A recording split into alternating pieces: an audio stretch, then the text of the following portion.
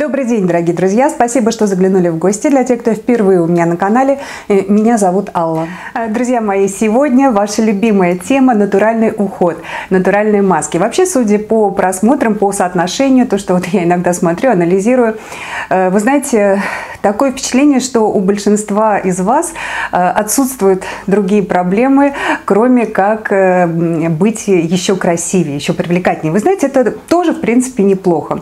Возможно, вы действительно настолько счастливые люди, что вас интересует вот эта тема, и только она. Ну и, собственно, как бы там ни было, я э, с удовольствием все равно снимаю для вас э, темы любые, но э, с большим, наверное, даже удовольствием я снимаю именно темы, посвященные вот уходу и различным уходовым средствам. Сегодня я вам расскажу об очень простой маске, которую сама делаю, в общем, очень давно, очень люблю. И вы знаете, я все время варьирую состав, меняю, и я уже подумала, подумала, что, наверное, я сниму даже цикл такой, да, потому что здесь основной компонент один, а добавки э, разнятся в зависимости от потребности на тот или иной момент моей жизни для моей кожи. Итак, что же это за компонент, дорогие мои? Это банан. Да, вы знаете, вот такой фрукт, э, который еще буквально в моем детстве было вообще совершенно невозможно, но очень сложно купить, насколько я помню, мы его покупали, отстояв в очереди, там, не знаю, полтора-два часа, покупали зеленые, ну вот кто мои ровесники старше, должны помнить этот период, когда покупали вот эти бананы несчастные, э, заворачивали их в газету, убирали куда-то в темное прохладное место, чтобы они дозревали. В общем, слава богу, э, сейчас э, проблем с тем, чтобы купить этот замечательный фрукт нет. Вот. И, собственно, его можно применять не только для здоровья и удовольствия вовнутрь, но еще использовать для красоты, потому что именно банан подходит как нельзя лучше для увядающей, Э, для кожи, которая уже потеряла свою э, упругость, именно для зрелой кожи и, собственно, добавляя те или иные компоненты, направлено работать э, в том или ином, так сказать, ключе. Итак, сегодня я вам покажу маску из банана, которую я делаю чаще всего, потому что, вы знаете, она универсальная. Она и увлажняет кожу, она и питает, она и подтягивает, она и разглаживает, она еще и осветляет, и немножко даже очищает нам кожу. И сейчас я вам покажу, из каких компонентов добавочных, кроме банана, я делаю эту маску, как я ее наношу. Если вам интересно, оставайтесь. Итак, для приготовления маски нам понадобится половинка банана, одна десертная ложка крахмала и одна десертная ложка кефира. Итак, банан, крахмал, можно взять любой, и кефир. Все это дело мы как следует перемешиваем. Я это все, видите, в кофемолке делаю, иногда в блендере, где вам удобнее. Получается вот такая, э, такое пюре, пюре такое банановое, знаете, обалденный запах, аромат.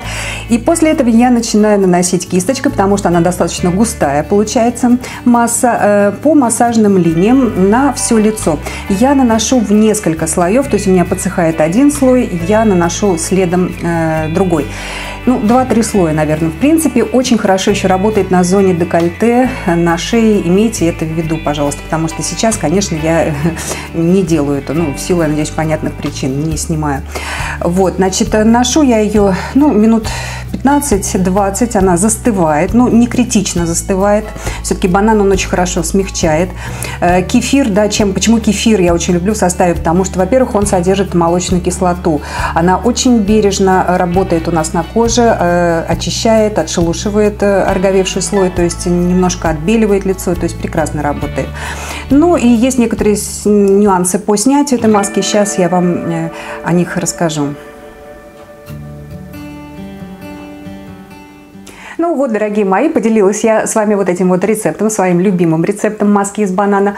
Я э, повторюсь, что в принципе я делаю иногда э, и другие маски, в состав которых входит банан, да, но это уже немножко другая история. Там уже зависит от э, некоторых проблем, если у меня возникают какие-то вот определенные проблемы. Я, возможно, еще сниму, если вам интересно, пишите, я обязательно э, отреагирую на ваши пожелания и вот могу снять несколько вариантов маски из этого чудесного фрукта, потому что фрукт, еще раз хочу сказать, как нельзя лучше подходит именно для зрелой и возрастной кожи.